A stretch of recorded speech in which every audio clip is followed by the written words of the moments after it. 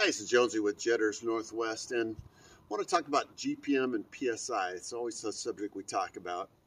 You know, with PSI, that really tells you the speed, the velocity that the water's coming out of the nozzle, but it says nothing about how much water and what kind of an impact it can have.